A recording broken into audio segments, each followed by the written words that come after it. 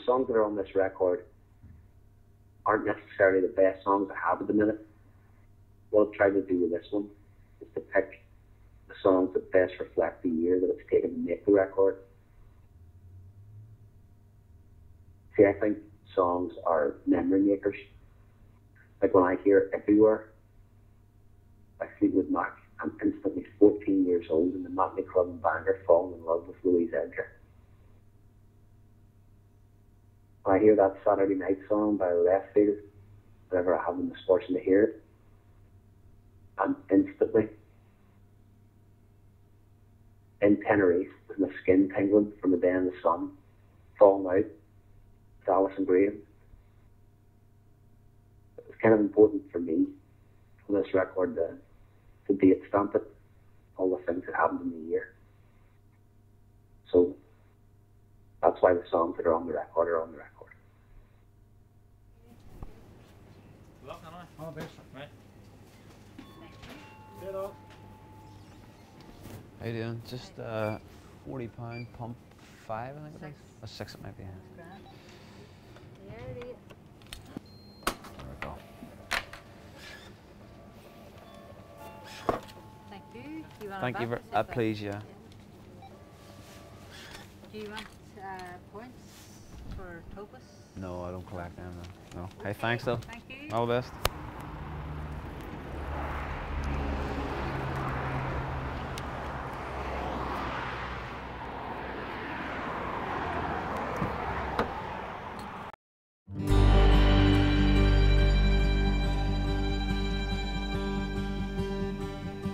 Tried to do what I felt was right.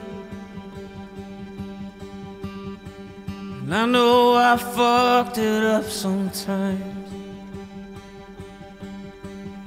But at least my heart was open. You're the one that crossed You could not go the extra mile, so I did what you were hoping. And at least my heart was open. At least my blood's still pumping. I know that it won't sometime.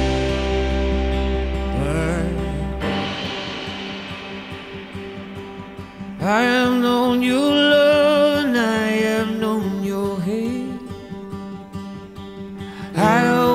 you devastate to liberate. Oh, but every moment's golden. And Though our withered arms entwined was not your fate. now we can't be lovers, friends, or even mates. Well, your chances come unfolding Because every moment's golden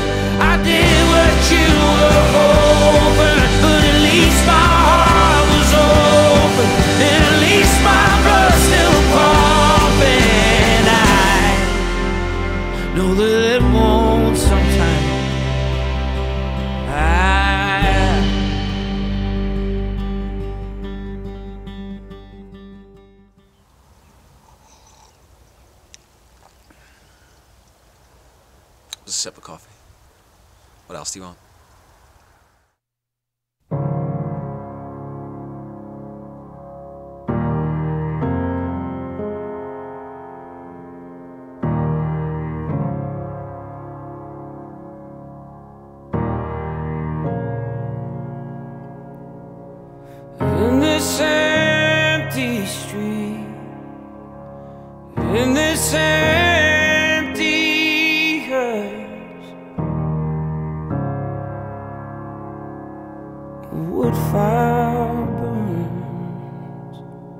you know what? I, re- I recorded Hope, and when I released it, um, I had a, I sort of realized something. Uh, and not to, not to dismiss the record because I know I know people like it, but I sort of don't.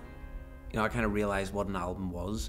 I have to do things to figure out whether good or, or bad. You know, I always admire people who have that intelligence, like the Bowies, the Dylans, the Morrisons, you know, who knew what to do and when to do it. I'm not really like that. I have to make the mistakes and learn from them, which is why I suppose I feel like I'm releasing my first record now at 38. Are you just going to shout out the chords? I can do that if you want, yeah. Okay, that's you can handle. So, one, two, three, two, two, three. E. A.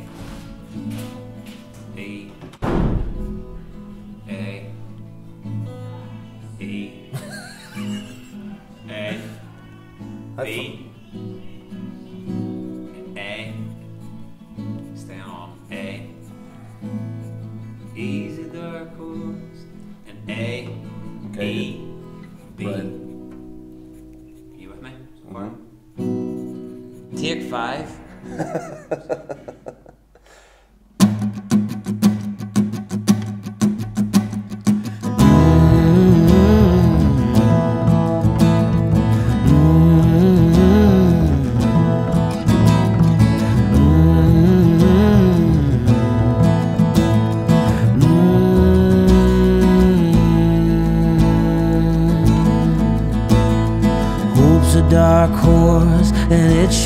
Sign of having gone before you. It's a matter of course, call it chance or design. It never seems to ignore you.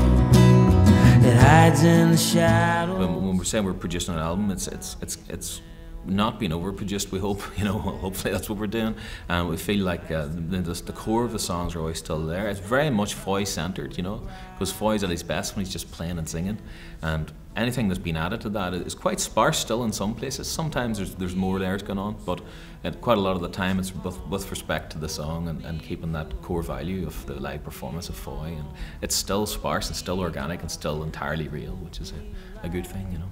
Hold me wrong, hold me right. the, so- the songs that are coming through are just a bit more, I don't know, they're just a bit more real. You know, they're a bit more sort of uh, honest or something. Maybe not as flash, but they're definitely uh, what I think at the minute. Hope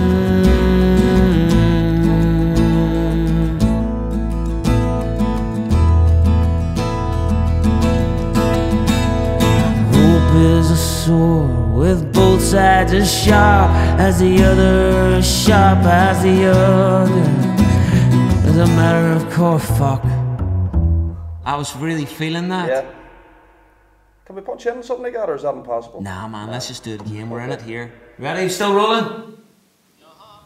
Mike came out to my house a few weeks ago, where I'm living in the, in the Highlands, and we just spent a bit of time talking and you know talking about what's important and why why even bother making an album, why bother doing anything, you know. And then I woke up the next day and wrote, you know, little. I had little snippets of songs, but basically I finished them that day. I wrote maybe about four or five songs, and all four are on this record. So that's kind of changed the. That's changed the direction of this a little bit, you know.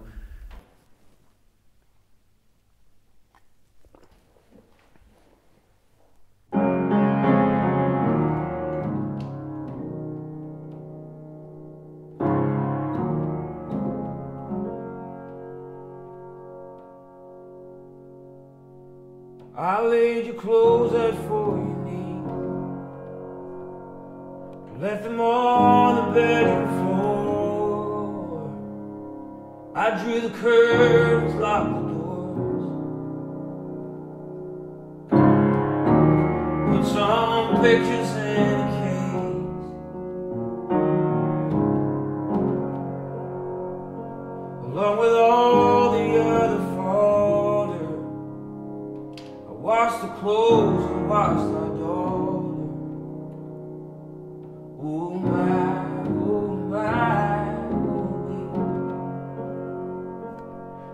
when you train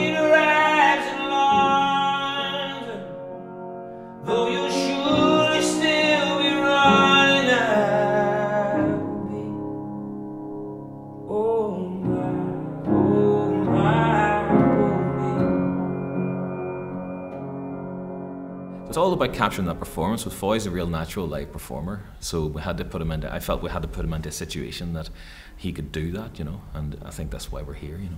Uh, there's a bit of the old and the new, really. Um, uh, you know, one of the great things about this big room that we're in right now, it has an amazing acoustic and kind of um, beautiful natural daylight, and it allows us to be able to sit kind of ten musicians around live and work out the arrangements, and then we add ideas from the musicians and stuff as we go along. So, but that's that kind of organic part of the process, and from Foy. Um, but we maybe have strings and we have scores that we can move things about quite quickly, and it's it's it's, it's all about performance. So I mean, Foy's vocals are nearly nearly 100% live a lot of the time, you know. So it's like never really do vocals. It's like capture the whole thing, or and start, or you know, if we don't, we start again, you know. Collie, I'm thinking, uh, Kenny, I don't know what you're thinking about Collie, but um, he's a dick, isn't he?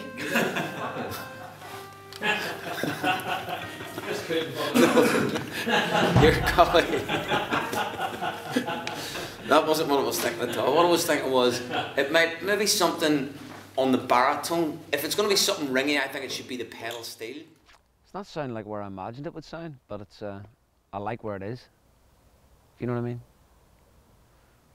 Because I let Keeney do most of the driving on this, with regards to the sound and all that. And I know, I know what I like, and we talk about it, and we've kind of scoped out the arrangements and all that crack. But with regards to the sonic uh, identity or whatever, it's just well mic'd instruments, nice instruments. Hopefully that's enough. Like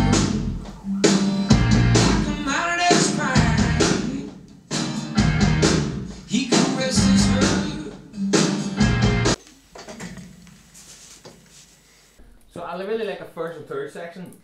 What is it about the second section? Second, you think? that, I It's tell what, it is, it's too missing that. It's, too, it's missing the big wash of the cymbal, which is Yeah. the sort of white stripes you hang. I think you should maybe Any stick it more out earlier. cymbals? One, two, three, like an animal. And, and keep the snare in there on the backbeat.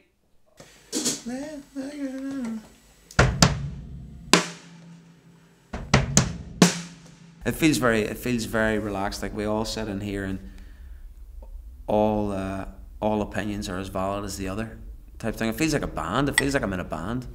You know what I mean? As opposed to a solo artist.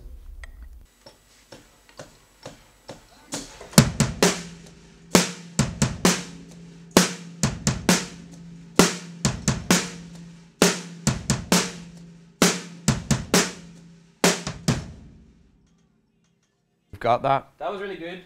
I'm gonna keep that one. Everyone's a creative part of this process. So in that sense, it's not a case of you know booking a pile of session musicians and making a record. It's a real collective spirit of creativity going on, and that's important to what Foy does, I think, and important to the way I work as well. You know. Okay, you want a wee ride? I thought you meant leave it out altogether. Uh, no, Right you- to the I- end. No, just no. Take the last one, but not the one before it. Okay.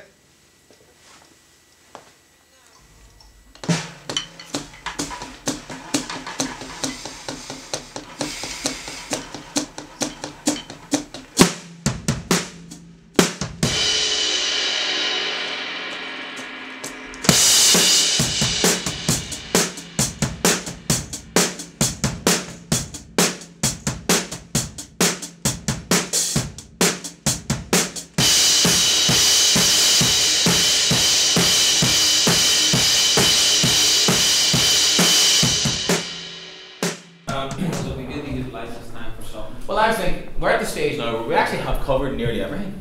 Nearly, nearly all the songs. Independent. Oh, the new song. Yeah. Yeah, that's possible. Do you know what I'd like to hear right now? I think the guys might like to hear if you would play Paper Prince for us. Actually, that, that's getting in the way. Hang on. Yeah. Do you think? Just take the amp out of the way. Yeah. Just do it. Yeah, that's much better. I'm on my own Though the sun still shines. No point,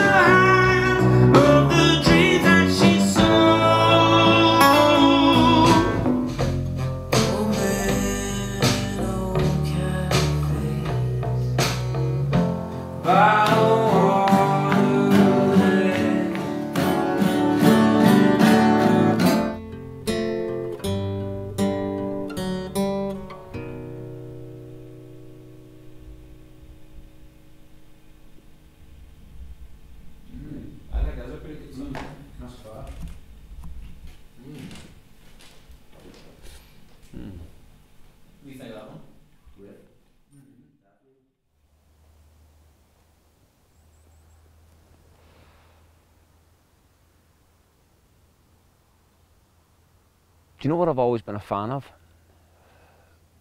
This sort of considered disregard. Like Thelonious Monk had it, Miles Davis had it, Bob Dylan had it, Sex Pistols had it, you know, Talk Talk have it, had it. Um, sort of nonchalant kind of, it's like it doesn't really matter, but but it does. Does that make sense? Am I talking shit? No, the songwriting. I, I didn't. I didn't try as hard with the songwriting. You know, on this record, I didn't try and make it. Uh, you know, think too much about um, the kind of craft of it.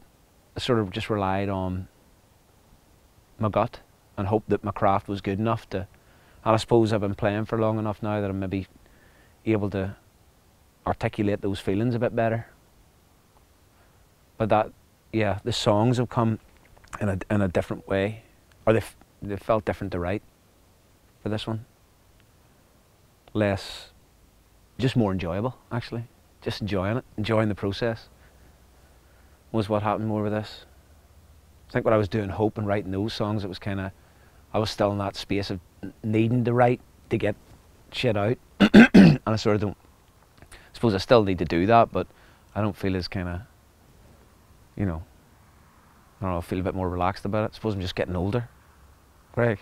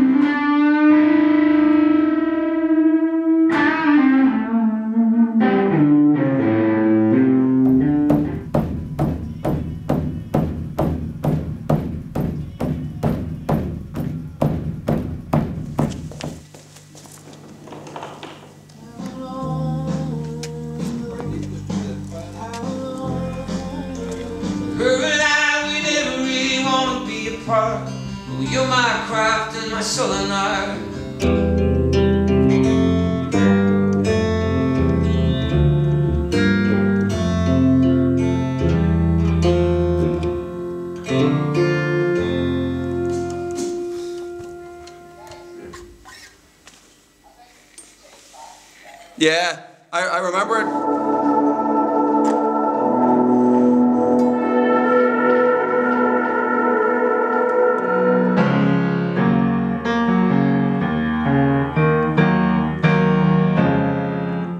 Slice of pizza or something? Aye. Sizzler? Yeah, anything, anything, just like a pepperoni or Oh. whatever.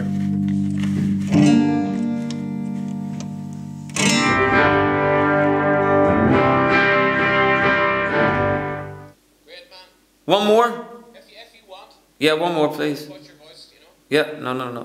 You're alright with it? Yep. But now let me say this I'd rather had you been vaporized by a lunar reflection from the sky. It's a, definitely a move on for Foy. It's a, it's a, a there's enough of kind of the what Foy is great at and kind of the things he was doing in the past in the new material. But I think he's taken it to the next level in, in terms of his writing, definitely. I, I feel personally. I'm just a little bit confused. I'd, I'd like to hope that it matters in some way outside of me, whether that be to people or, you know, it gets recorded in history as having been released even. It doesn't need to be anything huge. But in reality, what matters most was the, was the doing them, you know, for me personally. As a guiltless soul